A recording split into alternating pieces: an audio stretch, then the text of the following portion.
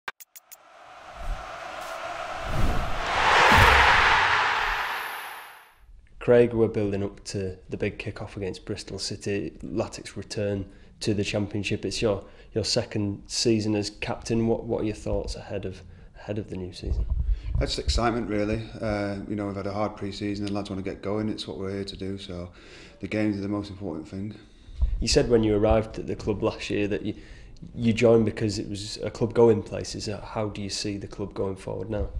Well, it's the next sort of task and level and um, we'll take the, the games as they come and, and we'll progress through through the league. Hopefully, um, you know we're not in there just to, to be a number. We want to we want to do as well as we can in this league as well.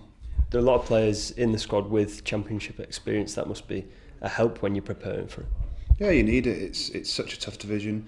Uh, the teams that we're playing, you know, they're brilliant, got good players. So a bit of experience and a bit of uh, know-how from before will help it's been it, it looks like it's been a tough pre-season. Quite a lot of fixtures, and of course the the pre-season camp in, in Portugal. How are the players bearing up? How are you bearing up ahead of the game? Yeah, we're all good. It's been managed properly. They've got good staff here. They know what they're doing. They do it all. It's very structured. So, um, you know, we've had the games. and We've got rid of enough players to, to share the minutes as well. So no one's done too much or too little has it been easier in a sense that the fact that there haven't been as many incomings as there was last year? You, you would have had to get to know each other quite a lot last year. In terms of squad and you know building a you know the the atmosphere and everything. Obviously, it's going to be easier when you haven't got as many people to to do it with. So um, this has been a few ins and outs, but obviously it's going to be easier with the sort of um, the way we were together last year. does that make it easier on the pitch as well when you're playing in these friendlies? The fact that you you do kind of know the ins and outs of a lot of the players.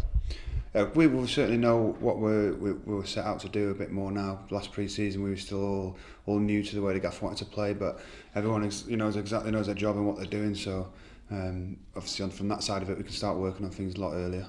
Would you say there was a, a strong view of that on, on Friday night, albeit we conceded three goals, but we scored four goals, which which must have been great for the team? Yeah, I think that was that was obviously the most pleasing uh, friendly that we'd had, and you know they come at us a bit, which give us a chance to go out there. and played teams that have sat in a little bit, and it's been a bit more difficult, but.